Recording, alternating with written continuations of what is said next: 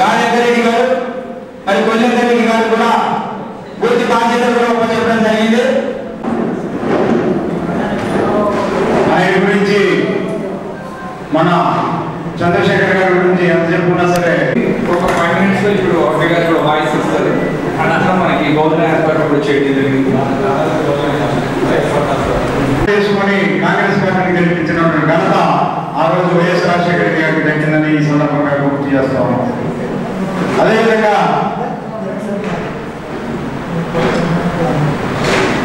అలాంటి సందర్భంలో ఉన్నటువంటి కాంగ్రెస్ పార్టీ పరిస్థితి ఈ రోజు అడవి వచ్చినట్టుగా తయారైంది.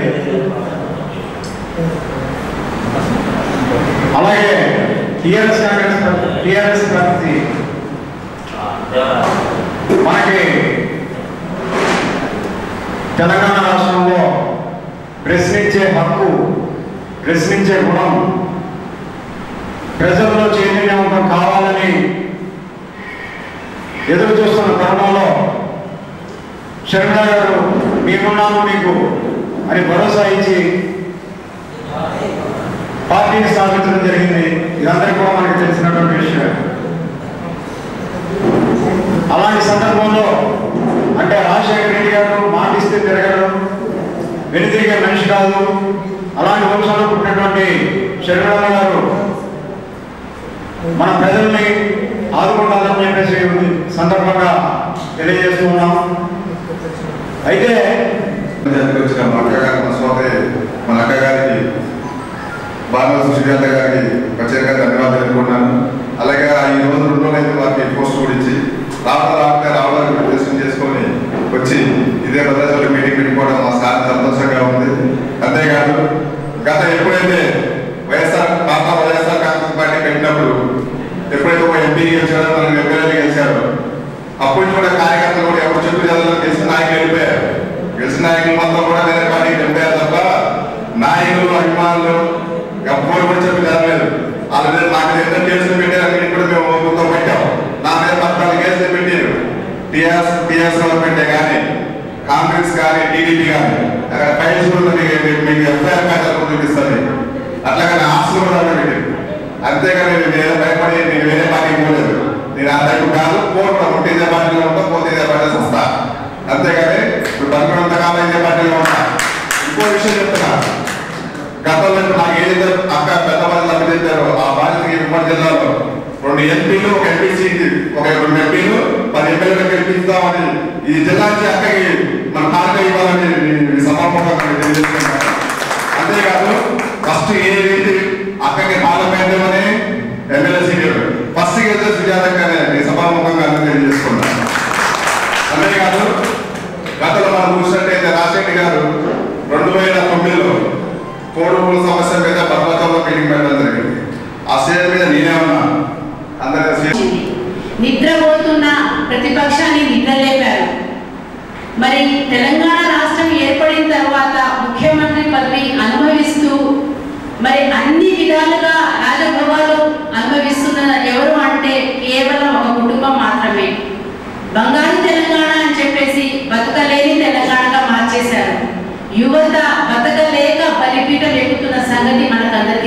నిన్న ఒక విద్యార్థి రైలు రైలు పట్టాల కింద పడి చనిపోవడం జరిగింది. మరి బంగారు తెలంగాణలో కేసీఆర్ గారి కూతురు బంగారు బోనం ఎత్తేగాడికి ఎదిగారు కానీ తెలంగాణ రాష్ట్ర ప్రజలు మాత్రం బతకలేక చావు కేకలు వినపడుతున్నాయి మరి ఇక్కడ మనందరం గమనించాల్సిన విషయం మహానేత వైఎస్ రాజశేఖర రెడ్డి గారు ఆనాడు తను డాక్టర్ వృత్తి చేసి ఒక రోగికి ఎలాంటి వైద్యం అందించాలని చెప్పేసి ఆలోచన చేసి అదే విధంగా ఈ రాష్ట్రంలో సమస్యల్ని ఒక రోగులలాగా తను రోగిగా ఒక ఏమంటారు సమస్యలన్నీ దగ్గరుండి పాదయాత్ర చేసి సమస్యలన్నీ తెలుసుకొని ఆ సమస్యల్ని పరిష్కార దిశగా ప్రతి ఒక్కరి ముఖాన చిరునవ్వు ఉండాలి. తను ఎంత చిన్న చిరునవ్వుతోని రాష్ట్రాన్ని ఒక చిరునవ్వుతో చూడాలి.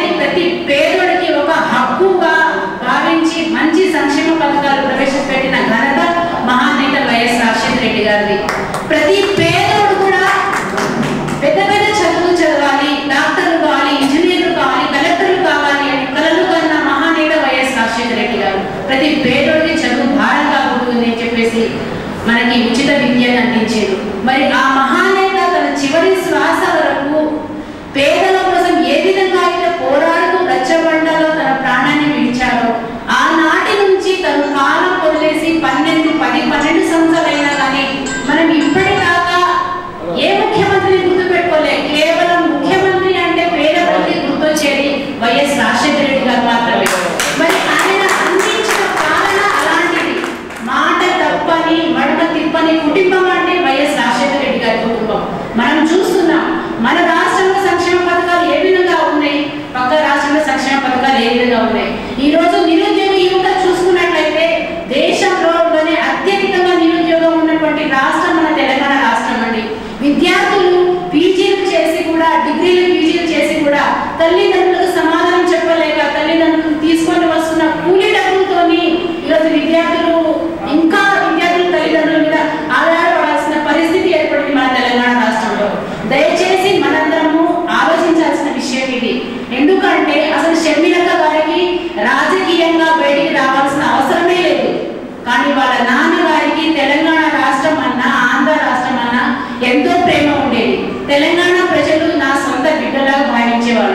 hermana